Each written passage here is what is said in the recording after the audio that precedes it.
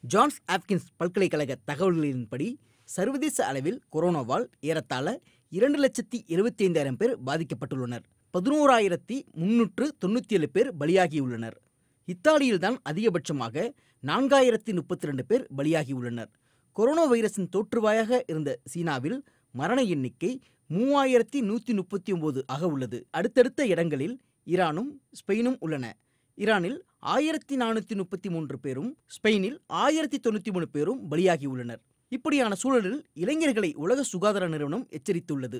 உலக சுகாதார நிறுவனத்தின் தலைமையகமான ஜெனீவாவிலிருந்து இணையம் மூலமாக உரையாற்றிய அதன் தலைமை இயக்குனர் டெட்ரோஸ் இளைஞர்களே உங்களுக்கு ஒரு செய்தி உள்ளது. நீங்கள் வெல்ல முடியாதவர்கள் அல்ல. உங்களையும் இந்த வைரஸ் வாரக்கணக்காக மருத்துவமனையில் இருக்க வைக்கலாம். அல்லது நீங்கள் மரணிக்க காரணமாக கூட அமையலாம். கவனமாக இருங்கள். வயதானவர்களுடன் தொடர்பு கொள்வதை தவிருங்கள். என்று கூறியுள்ளார். You don't get sick, the choices you make about where you go could be the difference between life and death.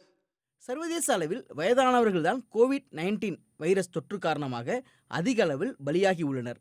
இத்தாலியில் வைரஸ் தொற்று காரணமாக பலியானவர்களின் சராசரி வயது எழுபத்தி எட்டு புள்ளி ஐந்து. சீனாவில் பலியானவர்களில் ஒரு சதவீதம் பேர்தான் ஐம்பது வயதுக்கும் கீழே உள்ளவர்கள்.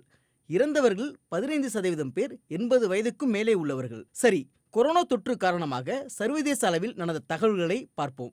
இங்கிலாந்து ஸ்காட்லாந்து வேல்ஸ் மற்றும் வடக்கு அயர்லாந்து ஆகிய பகுதிகளை உள்ளடக்கிய ஐக்கிய ராஜ்யத்தில் வெள்ளிக்கிழமை நள்ளிரவு முதல் தேநீர் விடுதிகள் மதுபான விடுதிகள் மற்றும் உணவகங்கள் மூடப்படும் என பிரிட்டன் பிரதமர் போரிஸ் ஜான்சன் அறிவித்துள்ளார். கனடா மற்றும் மெக்சிகோ உடனான தனது எல்லையை மூட உத்தரவிட்டுள்ளது அமெரிக்கா. சனிக்கிழமை இரவு முதல் அந்த பாதையில் போக்குவரத்து தடை செய்யப்படும்.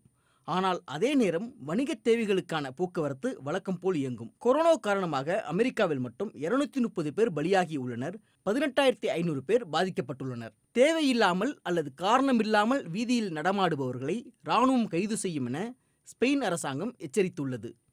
இந்தோனேசிய தலைநகர் ஜகார்த்தாவில் ஊரடங்கு உத்தரவு பிரகடனப்படுத்தப்பட்டுள்ளது. சர்வதேச அளவில் நிலைமை இவ்வாறாக இருக்க கொரோனா தொற்றால் பாதிக்கப்பட்டவர்களில் எண்பத்தி எட்டாயிரத்தி இருநூத்தி பத்து பேர் குணமடைந்துள்ளதாக ஜான்ஸ் ஹாப்கின்ஸ் பல்கலைக்கழகம் தெரிவிக்கிறது.